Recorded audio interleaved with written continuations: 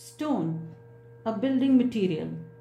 Today, I, Anu Mathur, lecturer, interior decoration, Government Women's Polytechnic Sanganer Jaipur, will talk about the origin and classification of stone. Stone has always been a very common and integral building material in building construction. Owing to its qualities and characteristics, it has been used in many ways in the buildings. As we know, the stone is obtained from rocks. So, the study of rocks and its classification is important to study stones. So, let's start with the study of classification and types of rocks with the help of the given chart. Here, the given chart gives us a brief overview of rocks and its classification. To start, the rocks are being generally classified into three geologically, chemically, and physically. The geological classification further gets divided into igneous, sedimentary, and metamorphic. The igneous further gets divided into plutonic, hypabyssal and volcanic. The, the sedimentary into clastic, chemical and organic and the third metamorphic. Now speaking about the chemical classification, the chemical classification is divided into siliceous, argillaceous and calcareous. The third that is the physical classification is studied under stratified, unstratified and foliated. So this was a brief description or brief overview about the rocks, its classification and further its types. Now moving on, let's study about the geological classification under which comes the three types of rocks that are igneous, sedimentary and metamorphic. To start with the igneous rocks, thus these are the rocks formed due to the cooling of molten rocky material known as magma, both under the earth's surface and even over the earth's surface. The rocks so formed deep inside the earth's surface are known as plutonic. The rocks formed at a shallow depth are known as hypabyssal and the rocks formed on the earth's surface are known as volcanic rocks. Such rocks have glassy, smooth surface with random arrangement of minerals. Some common types of igneous rocks are basalt, dolerite, granite and many others. Now let's start now let's study about the sedimentary rocks. The sedimentary rocks are usually formed due to regular erosion and weathering of pre-existing rocks. Such type of rocks are formed on the earth's surface as well as in water bodies. Such rocks can further be studied under as clastic, chemical and organic.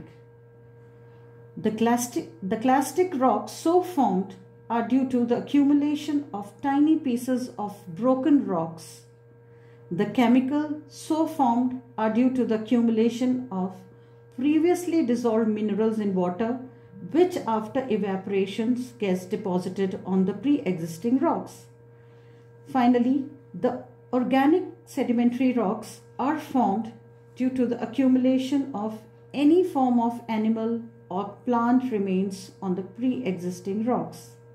So, according to this, some common types of sedimentary rocks are shell, sandstone, limestone, gypsum, etc. Moving further to the third type of rocks that are known as the metamorphic rocks. Such rocks are, as the name suggests, are formed when the existing rocks undergoes metamorphism, a complete changeover both physical and chemical. This is generally due to extreme pressure and temperature acting on the pre-existing rocks. Some common examples are slate, marble, schist, quartzite and many more. So this was about the geological classification of rocks. Now we are going to study about the physical classification of rocks which is usually studied on the basis of the physical structure of the rocks. On, on, on the basis of the physical structure, these rocks are being classified as unstratified, stratified and foliated.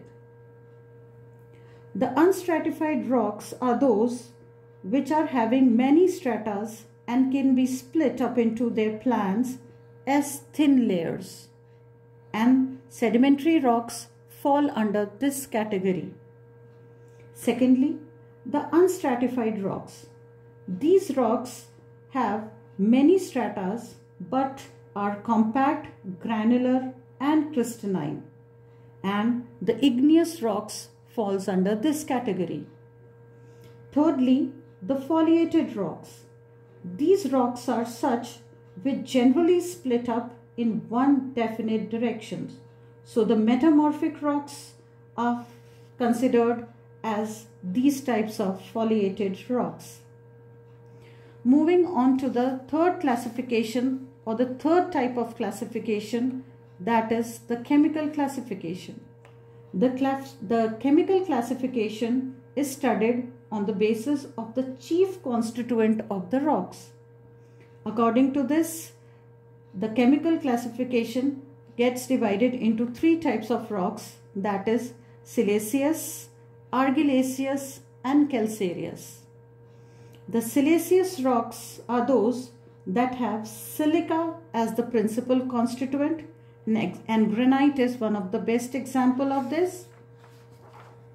Secondly, the argillaceous rocks, they are basically those rocks which have clay-sized particles or clay minerals as their predominant constituent.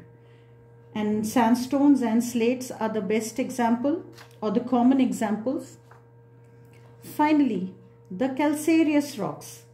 Such rocks are those which consist chemical carbonate or the calcium carbonate, sorry, as a principal constituent. And the best examples are limestone and marble. So this was all about the study of rocks and its classification along with its types, giving us even the brief about what exactly the stones are and what their qualities and characteristics are.